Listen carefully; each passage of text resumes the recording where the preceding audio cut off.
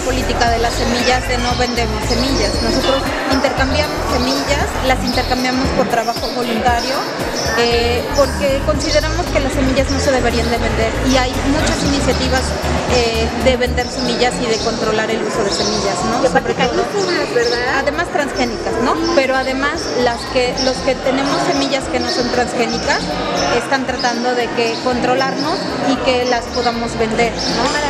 Entonces intentamos no vender semillas, solamente las intercambiamos por soberanía alimentaria. O sea, no debemos de nunca de vender las semillas, porque si las volvemos un producto va a haber alguien que va a comercializar y las va a controlar. Y si perdemos nuestras semillas, perdemos la capacidad de producir alimentos, o sea, la principal soberanía que podemos tener.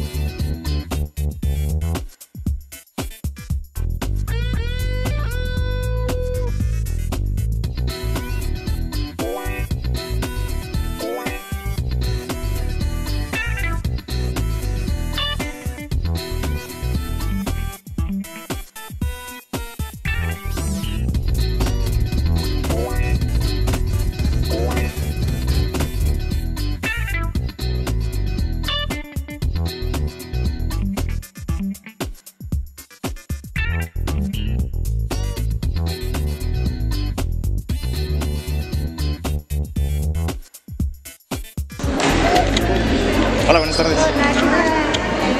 Estas sales son sazonadores eh, que se elaboran de una manera totalmente artesanales.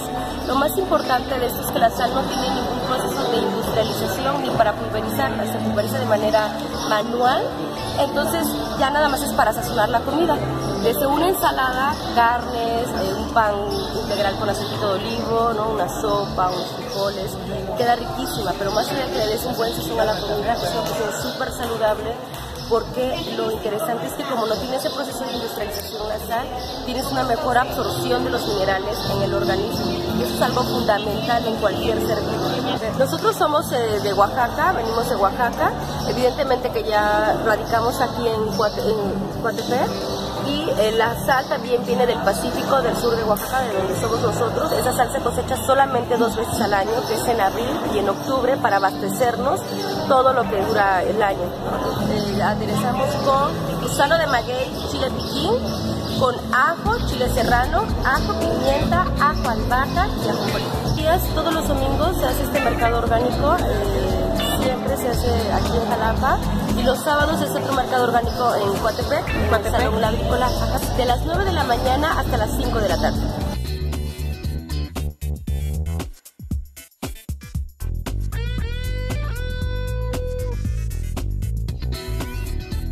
Digo, yo no soy mucho, Ella las trae de Oaxaca. no soy muy fan de la cocina, pero la realidad es de que para Soy- quienes les gusta, De la mesa.